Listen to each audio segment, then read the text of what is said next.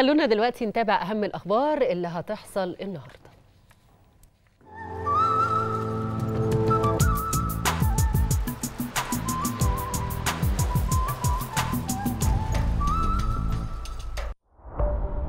بالنسبة للأخبار اللي هتحصل النهاردة فهيفتتح وزير البترول والثروة المعدنية أعمال منتدى مصر للتعدين EMF في نسخته الثالثة اللي بيعقد على مدار يومين بالقاهرة بحضور دولي موسع من المسؤولين رفيعي المستوى وقادة صناعة التعدين والمستثمرين والشركات المصرية والعالمية الكبرى ومؤسسات التمويل وخبراء الاستكشاف التعديني من مصر ودول العالم.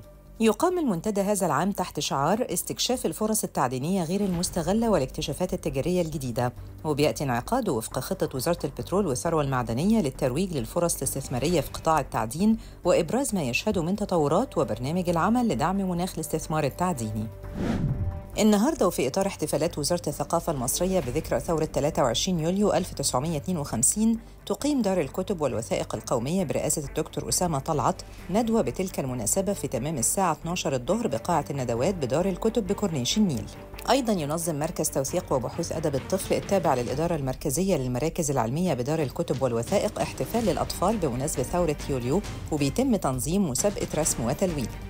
وبيأتي في إطار الاحتفال بالمناسبات الوطنية والقومية المهمة سعياً للحفاظ على الذاكرة الوطنية وترسيخ الهوية تماشياً مع خطة وزارة الثقافة. النهارده هيقدم نادي ريال مدريد الأسباني الوافد الجديد كيليان بابي في تمام الساعة الواحدة ظهرا في حفل بيستضيفه ملعب سانتياغو برنابيو بعد توقيع اللاعب على عقده الجديد.